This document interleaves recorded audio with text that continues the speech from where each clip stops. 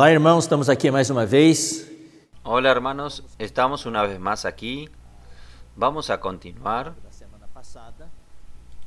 la palabra de la semana pasada de este tutorial. Esta semana es la semana número 2. El título de esta semana es Dios me habilitó. El volumen es el volumen 3, cuyo tema central es Mi gracia te baste y es sobre los ministros del nuevo pacto. Entonces, el tema general es los ministros del nuevo pacto. El tema del volumen 3 es Mi gracia te baste.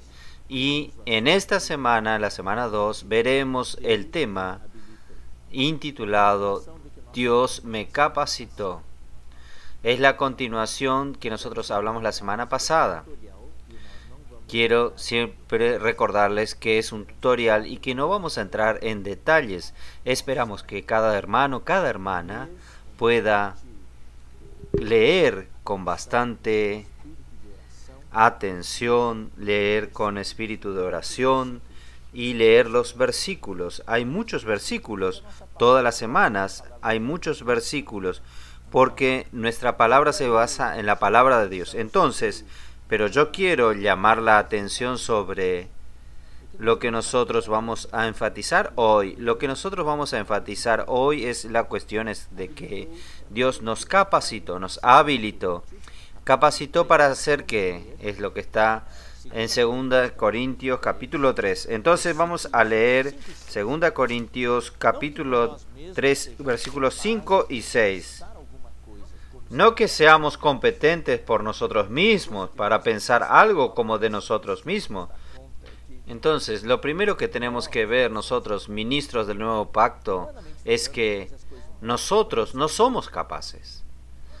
Humanamente hablante, por causa de las cosas humanas, podemos ser muy capaces, pero nosotros no debemos pensar que en las cosas de Dios nuestra capacidad natural o innata, la capacidad con que nosotros nacemos, pueda ser muy útil a Dios. No, Dios necesita llevar toda esta capacidad a la cruz, hacerla morir y resucitarla. Es algo muy diferente del concepto mundano, del concepto humano. Las cosas de Dios es otra cultura, es otra cosa. Ni somos capaces de pensar algo. Entonces el versículo 5 habla como si fuese de nosotros. No, nosotros no tenemos nada. Toda la obra de Dios en este ministerio del nuevo pacto, toda la obra de Dios en la cual estamos como ministro del nuevo pacto, todo tiene que salir, partir de Dios. Él es el origen de toda la obra. Ahí el versículo concluye diciendo, sino que nuestra competencia proviene de Dios. Entonces, si nosotros comenzamos por ahí, estamos bien.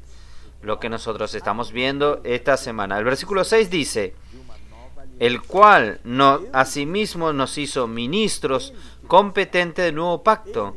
Dios es quien nos capacitó, Él es quien nos capacitó, Él es quien nos perfeccionó. Y este ministerio del nuevo pacto, o nosotros ministros del nuevo pacto, no somos ministros de la letra, sino del espíritu. ¿Por qué? Porque la letra mata, más el espíritu vivifica, el espíritu da vida. Entonces es muy importante ver en estos dos versículos los siguientes conceptos. El concepto de la capacitación del perfeccionamiento. Nosotros, ministros del nuevo pacto, tenemos que estar debajo del perfeccionamiento de Dios, la capacitación de Dios. Muchas veces esta capacitación se desarrolla a través de los hermanos que están alrededor nuestro. Nos perfeccionamos unos a los otros y también aquellos hermanos que están más crecidos que nosotros, que están delante nuestros. Ellos también sirven como mentores para nosotros, ayudándonos, perfeccionándonos y capacitándonos. Y especialmente para los más jóvenes, los más nuevos en la iglesia, nosotros tenemos que tener este espíritu de querer aprender y para los hermanos más antiguos, aquellos que están en la iglesia hace mucho tiempo, ¿qué necesitamos? Necesitamos renovarnos. Necesitamos pedir al Señor que saque toda vejez. Nosotros debemos servir en novedad de vida y en novedad de espíritu. Y para ser perfeccionados, ser capacitados, necesitamos tener el llamamiento de Dios. Nosotros necesitamos tener la claridad que Dios nos llamó, nos llamó y nos comisionó para esto. Y de nuestra parte tenemos que estar absolutos, tenemos que estar, tener, tomar la decisión de realmente querer servir al Señor. Entonces vamos a ver, un ministro del nuevo pacto, ¿cuál es el objetivo del ministerio del nuevo pacto? Un ministro del nuevo pacto existe por causa de qué? Por causa de la iglesia y de las necesidades de los hermanos. Si no hubiese iglesia y si no hubiese necesidad de los hermanos, no habría necesidad de ministros. Nosotros estamos aquí para servir a la iglesia, para servir a las necesidades de los hermanos. Entonces, nuestra vida hoy está unida al plan de Dios. Entonces, nosotros, Él nos capacitó, nos habilitó para ser ministros del Espíritu, ministros del nuevo pacto, del Espíritu, no de la letra, para servir y dar también nuestra vida a los hermanos. No es servir legalmente, sino dar la vida a los hermanos. Y en el día lunes nosotros vemos que este ministerio es único y singular. Vamos a leer entonces 2 Corintios capítulo 4 versículo 1, que dice, por lo cual tendí nosotros este ministerio según la misericordia que hemos recibido, recibido, no desmayamos. Quiero llamar la atención para esta expresión, este ministerio. Entonces, en el Nuevo Testamento nosotros tenemos esta expresión en varios versículos que nosotros vamos a ver enseguida. El ministerio es único y singular en el Nuevo Testamento y Dios colocó sobre nosotros este encargo. Él nos dio la comisión en este encargo y nosotros como ministros de Dios necesitamos colocar este encargo sobre nosotros, esta responsabilidad, esta comisión que Dios nos dio a nosotros de cuidar a los hermanos. Y no podemos permitirnos desanimarnos, no podemos darnos el lujo de desanimarnos. ¿Por qué? Porque tenemos la comisión. Es igual que una madre una madre no tiene tiempo para desanimarse, ella tiene los hijos tiene que cuidarles. O tenemos, tenemos la comisión o no tenemos la comisión. Si usted y yo tenemos la comisión, no nos desanimamos. Nosotros queremos desanimar. Pero si usted tiene el, el llamamiento, la visión, no se desanima. Entonces, en el día martes, el énfasis es estar en esta cuestión del único ministerio. Este ministerio es único. Entonces voy a leerles a ustedes rápidos algunos versículos. Y en estos versículos yo voy a enfatizar, no voy a explicar mucho porque no tenemos mucho tiempo. Yo voy a explicarles a ustedes, voy a enfatizarles la expresión este ministerio, el ministerio, el ministerio, este ministerio. No es cualquier ministerio, es el ministerio único y singular del Nuevo Testamento. Es el único ministerio que Dios reconoce. No es un ministerio particular, no es un ministerio personal con meta a un fin provechoso personal, es un ministerio neotestamentario. Es el ministerio de Dios, es el ministerio para edificar el cuerpo de Cristo, es el ministerio para servir al pueblo de Dios. Este es el único objetivo del ministerio. No es para que yo tenga prestigio, no es para que yo edifique, o hacer algo para mí, no. Es únicamente para el propósito de Dios. Entonces vamos a leer rápido algunos versículos. Segunda Corintios 6, 3. No damos a nadie ninguna ocasión de tropieza, tropiezo para que nuestro ministerio no sea vituperado. El ministerio. Nosotros no vamos a explicar, si usted leyó el alimento diario, usted va a tener algunas explicaciones, pero hoy solo quiero enfatizar en este día del martes esta terminología. Hechos 1, Hechos 1, 17. Aquí es Pedro hablando con las personas aquí. Hechos 1, versículo 17. A Pedro hablando con los hermanos después de la ascensión de Jesús era más o menos 120 personas. Dice así, varones, hermanos, era necesario que se cumpliese la escritura en, en que el Espíritu habló antes por boca de David acerca de Judas, que fue guía de los que prendieron a Jesús, y era contado con nosotros y tenía parte en este ministerio, el ministerio del Señor Jesús. Judas no hacía más parte porque él se ahorcó después que traicionó a Jesús, pero él tenía parte en este ministerio. Vamos a leer el versículo 25. 24 voy a leer. Y ellos necesitaban encontrar a alguien que esté en lugar de Judas. Y ellos oraron entonces. Oraron y dijeron, tú Señor que conoces los corazones de todos, muestra cuál de estos dos has escogido para que tomo la parte de este ministerio y apostolado. De quien cayó Judas por transgresión para irse a su propio lugar. Una vez más, en este ministerio. Efesios capítulo 4, versículo 12. Efesios versículo capítulo 4, versículo 12. Dice así.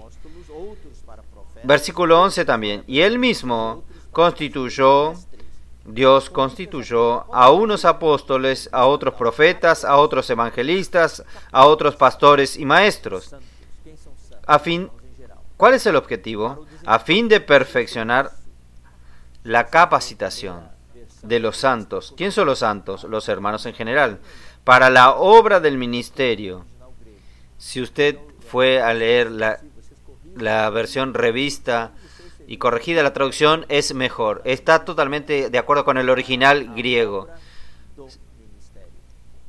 El desempeño, literalmente aquí, es para la obra del ministerio el desempeño es obra, el servicio es ministerio, para la obra del ministerio. Es diaconía, servicio o ministerio. Para la edificación del cuerpo de Cristo. Es para la obra del ministerio. ¿Qué ministerio es este? Es el ministerio único y singular. ¿Y cuál es el objetivo? La edificación del cuerpo de Cristo. Entonces vamos a leer 1 Timoteos 1.12 si usted fue a ministrar la palabra, usted necesita leer estos versículos para los hermanos, para que ellos reciban esta impresión de que solo hay un ministerio en el Nuevo Testamento, el ministerio único. Primera Corintios 1.12. Perdón. Primera Timoteo 1.12.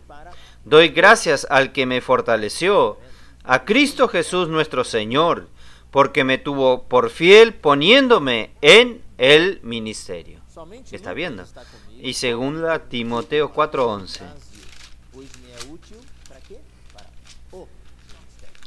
Solo Lucas está conmigo. Toma a Marcos y tráelo contigo, porque me es útil para qué? Para el ministerio. Entonces, aquí está muy claro, es el ministerio, este ministerio y ya hablamos, este ministerio tiene un único objetivo que es edificar el cuerpo de Cristo, no es algo personal, eh, es algo relacionado con el plan de Dios.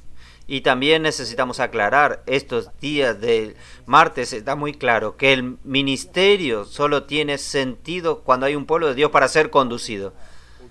Desde el comienzo, los patriarcas no se mencionaba no se mencionaba ministerio, no había pueblo, pero cuando surgió el pueblo de Israel hubo la necesidad de levantar a Moisés. Él era el, el verdadero ministro del antiguo pacto.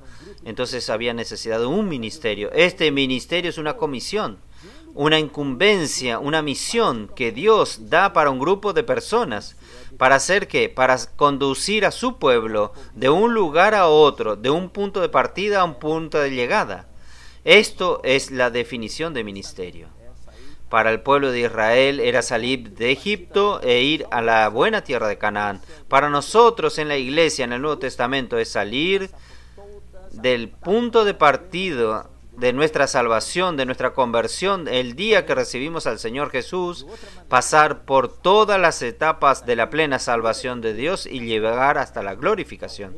También, de otra manera, nosotros podemos explicar de la vida de la iglesia aquí en la tierra para llegar al reino, al galardón del reino milenial. En la Nueva Jerusalén, en la eternidad futura, todos los cristianos vamos a estar allá. No puede, preocuparse con eso, pero nuestro objetivo principal es llegar a la meta, que es el galardón, el reino milenial. Entonces Dios quiere formar este ministro para servirlo. Dios valora a las personas. Esto es importante resaltar. Dios da más importancia a la formación de su ministro que a su a la obra propiamente dicha. Muchas veces nosotros damos mucha atención para la obra. La obra Dios va a hacer, pero el ministro, la persona, es lo que Dios valora y demora para que Dios forme a esta persona. Y Dios quiere invertir en usted, querido hermano, querida hermano, quiere invertir en mí para que seamos este ministro.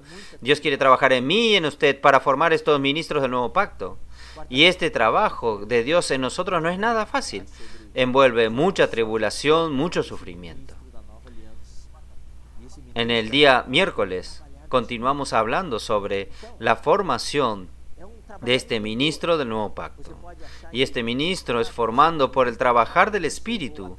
Entonces, es un trabajar interior. Usted puede creer que para ser un ministro del nuevo pacto yo voy a aprender ciertas técnicas, técnicas técnicas de oratoria, de coaching, ahí voy a ser un buen ministro. No estoy diciendo que oratoria y coaching y todas estas, estas técnicas modernas de gestión no sean importantes, son importantes y también necesitamos aprender, pero lo más importante es que usted permita que el Espíritu trabaje en usted. Nosotros necesitamos aprender a expresar el encargo, la comisión que Dios colocó dentro de nosotros, saber colocar eso afuera, motivar a los hermanos, llevar a los hermanos todos a servir y hacer todas las cosas en el Espíritu. Usted puede aprender hasta técnica, pero usted no puede aprender el encargo, la comisión. La encargo y la comisión es algo que Dios le da a usted. Por eso que todos nosotros necesitamos ir delante de Dios para recibir este encargo, esta comisión. Usted puede aprender técnicas, pero usted no puede aprender el fuego. El fuego viene de Dios, viene de los cielos. Entonces, este fuego el encargo del Espíritu necesita arder en nuestros corazones y en nuestra responsabilidad es no dejar que este fuego se apague. Moisés, cuando sirvió, sirvió al pueblo de Dios, él estaba solo, pero más, más tarde el suegro de él le enseñó a formar, designar jefes de mil, de cien y de diez. Esto es tema de la administración, pero hoy, gracias al Señor, no servimos solo, Hoy tenemos un grupo, un cuerpo de siervos de Dios y ministros que sirven con nosotros. Claro que nosotros, nosotros somos completos, tenemos fallas, por eso necesitamos servir con los hermanos que están alrededor nuestro. Esto es difícil, doloroso. Usted sabe cómo es difícil, pero necesitamos aprender. Por eso que nosotros necesitamos la obra de cruz en nosotros. La cruz necesita trabajar en nosotros. Y y lo que necesitamos pedirle a la cruz es remover, remover de nosotros todo, todo lo que nos molesta, nos impide para que podamos servir al Señor adecuadamente. Y otra cosa, nosotros no podemos descartar a nadie en la iglesia. Nosotros vemos ejemplos en la iglesia. Pablo, en el comienzo, él descartó a Marcos, pero más tarde Pablo habló como nosotros leímos Marcos llamó a Marcos porque era útil en el ministerio. Cada hermano es útil al Señor. Por eso, querido hermano, querido hermano, yo quiero decirle a ustedes, usted es útil al Señor. Permita a Dios que trabaje en usted. Aunque esto produzca sufrimiento en usted. Dios quiere usarlo usted. Permita que Dios trabaje en usted. Permanezca en la iglesia. Solo aquí es que Dios tiene lugar, oportunidad de trabajar en nosotros. Y claro, usted necesita descubrir cuál es su comisión delante de Dios. Entonces aquí vimos lunes, martes y miércoles. Los puntos principales ya mencioné. Detalle usted va a leer. Estos son los puntos principales que ustedes deben resaltar, prestar atención cuando ustedes lean o ministren en la palabra. En el día jueves, viernes y sábado, nosotros vemos la comparación entre Moisés y Jesús. Jesús es el ministro del nuevo pacto, el primer ministro del nuevo pacto, y Moisés era el ministro del antiguo pacto. Nosotros vemos en Hebreos 3, capítulo 3.1 en adelante, todo el versículo, capítulo 3 de Hebreos habla de Jesús y Moisés, hasta el capítulo capítulo 1 al 3 o al 8 habla que Moisés fue fiel en la casa de Dios y Jesús también fue fiel en la casa de Dios. Entonces, nosotros, ministros del nuevo pacto, debemos ser fieles. No, no vamos a, a leer el versículo por causa del tiempo, ustedes pueden leer. Dios es quien nos constituye sobre su casa. Qué privilegio, qué privilegio Dios colocó a usted sobre la casa de él para que cuide bien de los hermanos en capítulo 3 y 4 hasta el capítulo 4. Nosotros, tanto, tanto en el viernes, sábado, se habla mucho. Yo no voy a leer aquí porque es muy extenso. Yo solo voy a mencionar los puntos principales. Se habla mucho de cómo nosotros debemos aprender las lecciones del pueblo de Israel. Ellos salieron de Egipto para llegar a la meta del el destino de ellos, que era la buena tierra de Canaán, pero ellos no llegaron allá. Ellos no entraron en el descanso. Ellos dieron vuelta en el desierto por 40 años y ellos no llegaron. Toda aquella primera generación cayó en el desierto, murió en el desierto. Solo la segunda generación que entró. Nosotros no queremos ser esto, nosotros no queremos dar vuelta en el desierto y aún caer muerto y no llegar a nuestro destino. ¿Cuál fue la razón? ¿Que ellos no haber entrado? Dos cosas. Incredulidad y desobediencia. Aquí nosotros sabemos que ellos practicaban la idolatría, fornicación, pero Dios no mencionó esto.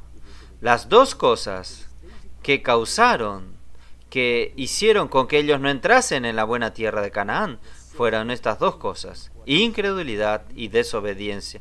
Entonces los capítulos 3 y 4 de Hebreos, el autor habla, cuidado, para que ustedes no tengan un corazón maligno, duro de incredulidad, para que ustedes no sean desobedientes. Hoy está hablando Dios. Dios habla en su palabra fundamental y mucho más. Dios está hablando en su palabra profética. Queridos hermanos, Vamos a creer en la palabra del Señor. Si Dios está hablando es porque Dios quiere ejecutar esta palabra. Vamos a creer en esta palabra y vamos a obedecer. Vamos a ser simples. Vamos a ser simples, volver a la simplicidad. Creer y obedecer. Entonces, este es el resumen del resumen de estos tres días. Jueves, viernes y sábado. Y en el, sábado se menciona estos capítulos 3 y 4 de que ellos no entraron en el descanso. Entonces esta palabra descanso también nos ayuda mucho. Nosotros hoy aún no llegamos al reino, estamos aquí en la tierra aún sirviendo, pero en el espíritu nosotros necesitamos ya descansar en el Señor, sabiendo que como ministro del nuevo pacto, nuestra obra no es nuestra, es del Señor. Entonces el sábado nosotros encorajamos, animamos a todos los hermanos que sirve, usted que me está oyendo, querido hermano, querida hermana, vamos a aprender a servir en el descanso de Dios. Y por último, en el domingo tenemos la conclusión.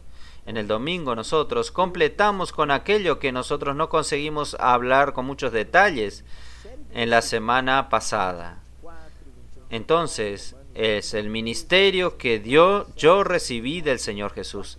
Entonces, el domingo hay una serie de versículos, Hechos 20 24, 21 19, Romanos 11 19. En, en todos estos versículos, ¿cuál es la terminología que Pablo usa? Pablo usa la siguiente terminología el ministerio que yo recibí del Señor Jesús, mi ministerio, tu ministerio, su ministerio. O sea, usted y yo necesitamos tener la seguridad de que fuimos comisionados por Dios, de que usted está sirviendo hoy no solo por su voluntad, por usted querer servir, esto es muy bueno, pero usted tiene que tener seguridad que está sirviendo porque usted fue llamado. Hay un llamamiento, hay una comisión, Dios te comisión, Dios te pasó el fuego del cielo. Usted tiene que tener seguridad de que el ministerio en el cual usted está El ministerio que usted usa para servir a, los suyos es su ministerio, es un ministerio que usted recibió del Señor Jesús. El Señor lo escogió a usted y a mí, querido hermano. Él cuenta con nosotros para ser estos ministros adecuados del nuevo pacto. Vamos a dejar que Dios trabaje en nosotros. Comience hoy mismo a cumplir su ministerio. ¿Usted está listo? ¿Yo estoy listo? Yo voy a decirles algo, hermano. Nunca usted va a estar, sentirse listo. Pero tenemos que aprender a medida que vamos avanzando, vamos disfrutando a Cristo y vamos a aprender. Pero tenga la plena seguridad que Dios lo capacitó a usted. Amén.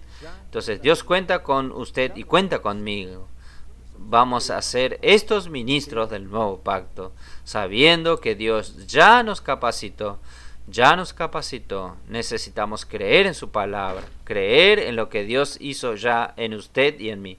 La semana que viene continuaremos. Hasta la próxima oportunidad.